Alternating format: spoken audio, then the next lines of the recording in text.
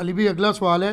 मौलाना मक्की हिजाजी देवबंदी साहब की एक नई वीडियो मंजर आम पर आई है जिसमें उन्होंने दावा किया है कि मौलाना मदूदी राही मौला का नज़रिया ये था कि शादीशुदा जानी के लिए रजम वाली सज़ा इस्लाम में नहीं है। इसलिए मौलाना मदूदी राही मौला रजम की सज़ा के मुनकर हुए और राह हक से उनके कदम फिसल चुके थे। मौलाना मक्की देवबंदी साहब का ये दावा कहाँ तक दुरुस्त है प्लीज़ वजाहत फरमा दें। बड़े से बड़ा पहलवान भी होना और नीचे को पानी पड़ा हो तो पाँव फिसल जाएगा। उसकी ताकत कोई काम नहीं आती। तो इसको भी कहते हैं जल्लतल अकदाम के बड़े बड़े इल्म वाले जो थे, वो भी फिसल गए। रास्ते से बौदी साहब कितना बड़ा आदमी था, कितनी बड़ी किताबें लिखी, कितनी दुनिया को उनके ज़रिए से दीन के साथ, लेकिन रजम का इनकार कर बैठा। इसीलिए डॉक्टर इसरार ने इनको छोड़ा कि जब तुम एक रजम का मसला जो मनसूस है कती दलालत है हजूर ने रजम का उम्र किया है, साहबा ने रजम किया, तुम इनकार करते हो? आज के बाद मेरा तुम्हारे साथ कोई तलब नहीं होगा। इनका हक है इख्तलाफ राय करें, लेकिन सर उलम बिलकिस्त बने। अहल इल्म इंसाफ पर कायम, झूठे इल्ज़ाम न लगाएँ। अपने बुज़ुर्ग बाबों का दिफा करने के लिए और दूसरों के बाबों को नीचा करने के लिए झूठ ना बोलें। अब दुनिया पढ़ लिख गई है, लोगों के सामने तफहीमुल कुरान है। आप किस तरह झूठा इल्ज़ाम लगा सकते हैं उनके ऊपर? अब मैं कैसे कह दूँ कि आपका स्लिप ऑफ़ टंग हो गया? अगर स्लिप ऑफ़ टंग है तो हमारी वीडियो के बाद आप रुजू रिकॉर्ड करवाएँ। और अजीब जो उनके दिमाग में आता है, उन्होंने कहीं जवानी में कोई बात पढ़ ली थी, किसी और के बारे में पढ़ी थी, किसी और पे फिट कर देते हैं। सर, अगर आपके इस वक्त, यानी यादाश्त में कोई इशू आ गया तो आप थोड़ी तैयारी करके बैठे। ये बताएँ किस जगह मौलाना मदूदी ने रजम की सज़ा का इनकार किया है?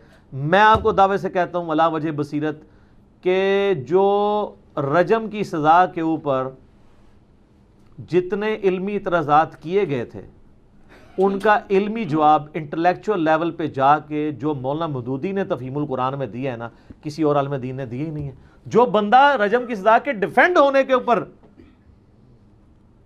तफहीमुल कुरान में लिख रहा है, सूरत निसा की आयात के कॉन्टेक्स्ट में सूर नूर की आयात के कॉन्टेक्स्ट में, उस बंदे पे आप ये इल्ज़ाम लगा रहे हैं, इससे आपको अंदाज़ा हो जाएगा कि इनका मकसद डी फेम दूसरों को करना होता है। लेकिन चूँकि आप तो दुनिया बदल चुकी है, पहले तो आपके लोग जो है सामने वो, जो है ना वो खामोश, तमाशाई बन के सुनते रहते थे, बेज़ुबान बैठे रहते थे। अब तो लोग कहते हैं, सर, कहाँ लिखा है? फिर लोग हमसे भी रबता करते हैं। मेरे भाई, ये बिल्कुल झूठ है। आप तफीमुल कुरान में चले जाएँ। सूर नूर पारा नंबर 18 की तफसीर निकालें। शुरू की आयात की मौलाना मदूदी रही ताला ने इतने बेहतरीन अंदाज में रजम की सज़ा का मुकदमा पेश किया है। उन्होंने ये बताया है कि अगरचे कुरान में जानी की सज़ा जो है वो सौ कोड़े आई है, लेकिन ये उस जानी के लिए है जो गैर शादीशुदा है, जो कि मुनकरीन हदीस हैं। उनका मौक़ यह है कि जानी की सज़ा ये है, चाहे वो शादीशुदा हो ख्वा गैर शादीशुदा हो।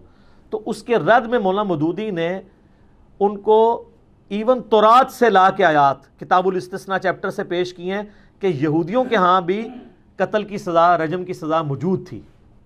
तो मौला मदूदी ने ना सिर्फ़ ये काम किया कि उन्होंने इस सज़ा के ऊपर जो एतराज़ात हैं वो दिए, बल्कि उन्होंने तो शरीय, शरीयत मूसवी से भी इसको साबित किया कि शरीयत मूसवी की कॉन्टीन्यूशन है शरीयत मोहम्मदिया सल्लल्लाहु अलैहि वसल्लम तावक्त कि किसी को डिनाई ना कर दिया जाए किसी बात को। तो उनका डिनाइल कोई नहीं आया और बुखारी मुस्लिम में दर्जनों अहादीस हैं।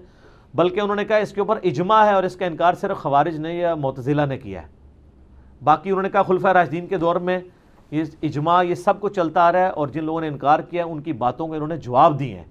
मदूदी साहब ने बाकायदा तौरात से, बुखारी मुस्लिम की अहदीस से, खुलफा राजदीन के इन सारी चीज़ों से इजमा नकल किया और बाकायदा इनको अकली जवाब दिए एक एक बात को पढ़ने वाली है यार।